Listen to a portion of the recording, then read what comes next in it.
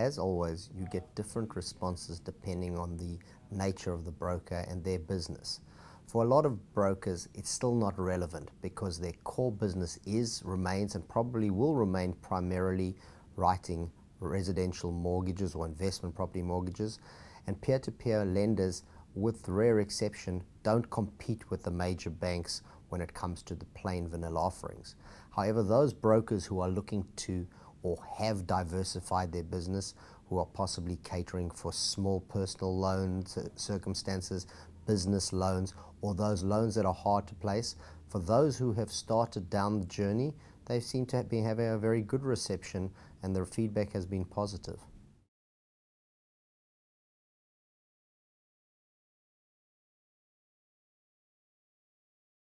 I never believe that the role of a broker will be redundant because a certain number of people will always want an interface with a human. They'll need somebody to hold their hand, somebody to talk to, somebody to explain, and maybe even somebody to fill in the application form. And that won't go away in a tech world.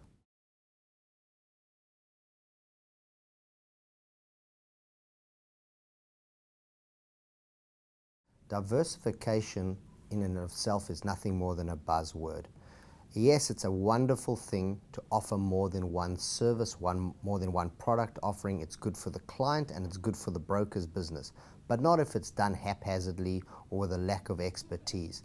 I advocate strongly that within a group, one becomes an expert in, say, commercial lending, another one becomes in residential, another one may look at, at the peer-to-peer -peer offerings that are there, and each one complements the skills of the other. But just to diversify for diversification's sake and to become a jack of all trades and a master of none is not, in my view, adding real value to the client, and as a result won't ultimately land up adding much value to the broker's business.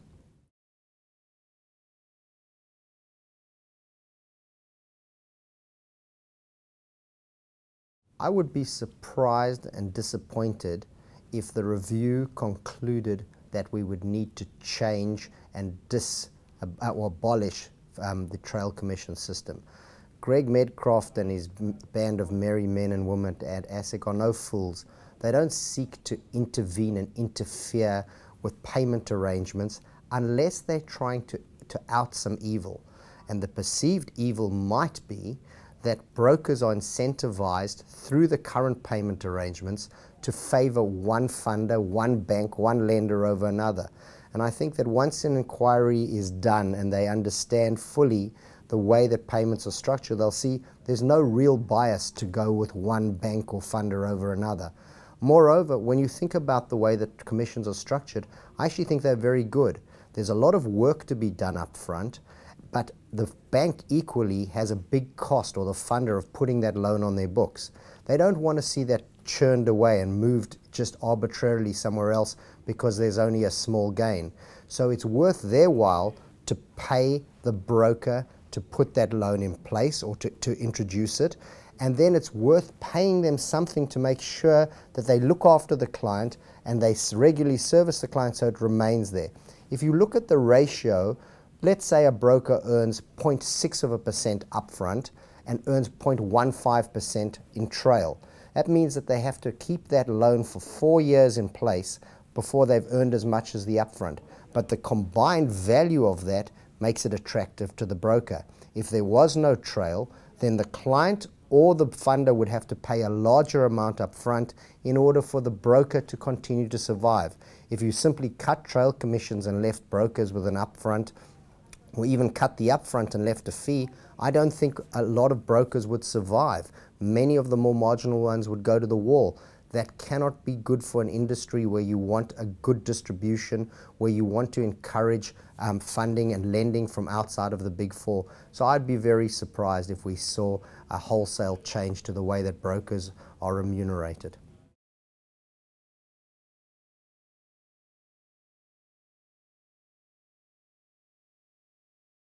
What you're seeing is an increasing share of business being won by brokers, but not an increasing number of brokers. Not when you look at the figures, say MFAA membership, and therefore what that's saying to me is fewer brokers are writing more business.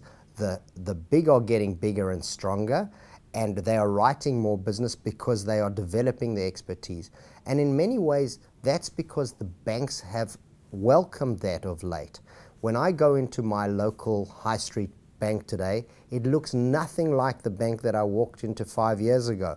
Tellers used to stand in lines behind glass, and, and, and heaven forbid I put my arm through it, it would come down and drop down on my arm.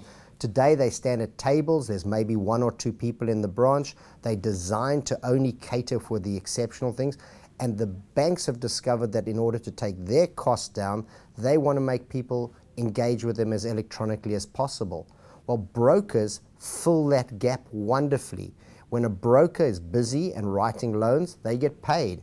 And when they're not, they're not a fixed overhead. The banks have been able to outsource that overhead. And therefore, there's an environment to allow good brokers to continue to grow. So what the brokers, that, to answer your question, need to do is to continue to, in their own way, consolidate, get good at particular expertise, find niches, and grow so that they fill the gaps that the banks have left for them.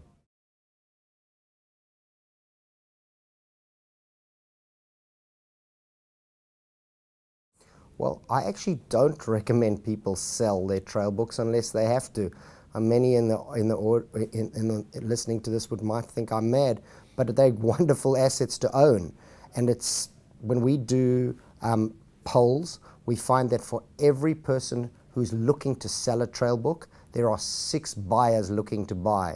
So in fact, yes, there comes a time when a person wants to hang up their spurs, they want to move on, they may have financial need to do it, but I don't necessarily encourage selling a good asset like it, particularly one that has a good yield and a recurring, predictable income stream in favor of what? Unless somebody goes, there's something I can do with that money that's a lifestyle or a financial benefit greater than I've got today, I'd say don't sell them.